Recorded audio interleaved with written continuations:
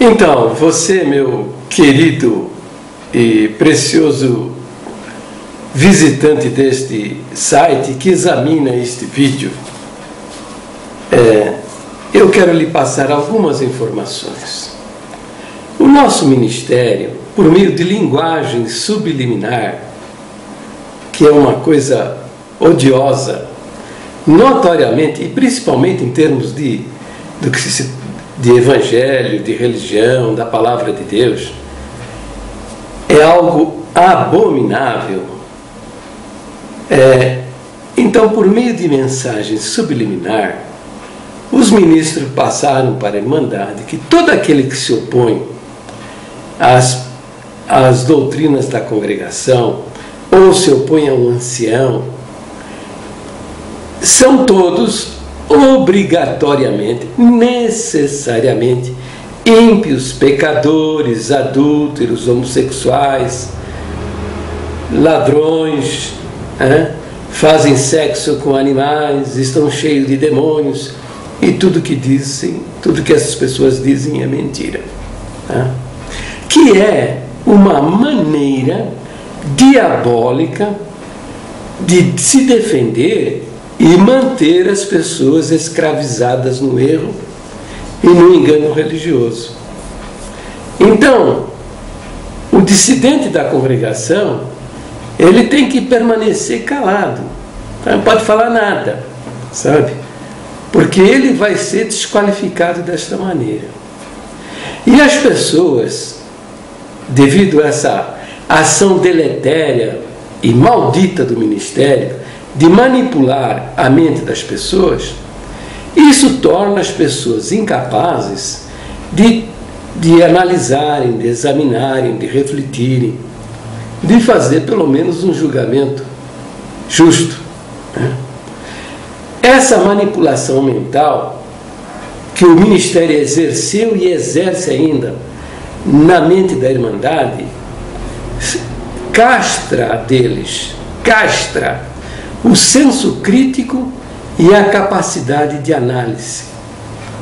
Então veja, há uma porção de conceitos também que não tem nenhuma fundamentação bíblica, mas que foram passados por meio de linguagem subliminar para toda a Irmandade. Por exemplo, o pecado. O pecado na congregação é somente o pecado do adultério.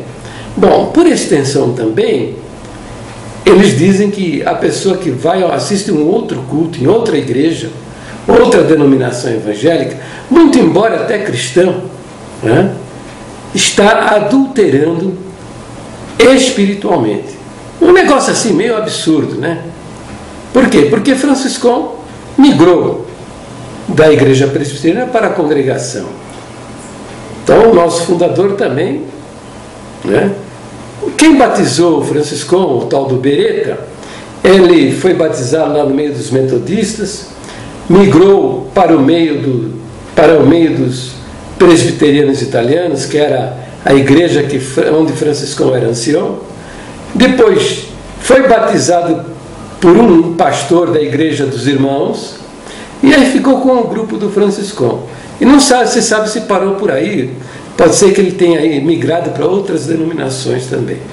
Mas os homens perverteram todas as coisas que, e agora por extensão, também o pecado é pecado de adultério também você frequentar ou assistir um culto numa denominação evangélica. Bom, bom, veja, mas só isso é pecado, entendeu? O pecado do adultério. Quer dizer, você fornicar é erro.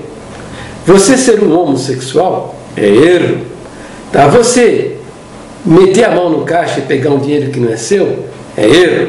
Você pode ser hipócrita, mentiroso, falso, espancador, pedófilo. Você pode fazer o diabo a quatro. Tudo isso é erro, sabe? E, e assim, na cabeça dessa gente é tolerável por Deus. Agora, já o pecado do adultério, esse não tem perdão. Não tem perdão. Muito embora o Senhor Jesus diga lá em Mateus capítulo 12 que o único pecado que não tem perdão é a blasfêmia contra o Espírito Santo.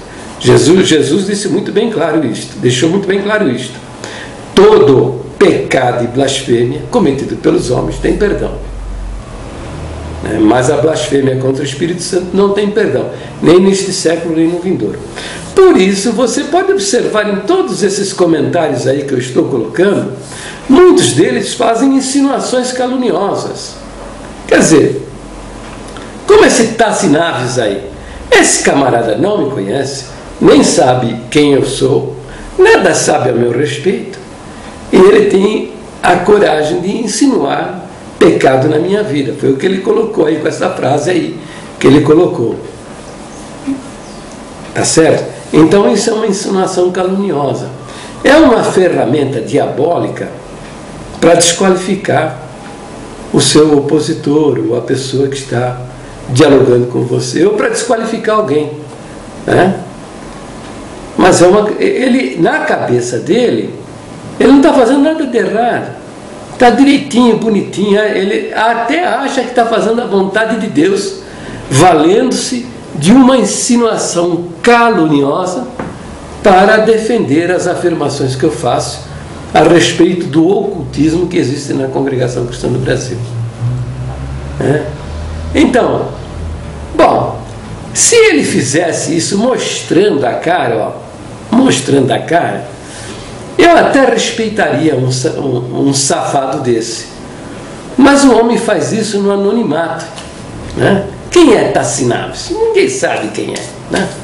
Mas, veja, o camarada que se vale do anonimato para insinuar o adultério na vida de uma pessoa, tem que ser mesmo muito canalha, né? Tem que ser um tipo safado e ordinário. Covarde, safado e ordinário. Não tem outra.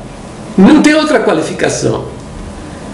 Esse vagabundo e safado nem sabe que a minha esposa pode acessar esse site, é, minhas filhas, meus genros, meus netos, e ver uma, uma acusação dessa natureza. Entendeu? Bom, mas eu estou fazendo esse vídeo na esperança que a mulher desse vagabundo veja esse vídeo. Que o filho desse canalha safado e sem vergonha veja esse vídeo. E fale para ele: meu pai ou meu marido, você é um canalha safado que dê a eles as palavras que eu estou, transmita a ele as palavras que eu estou deixando registradas aqui.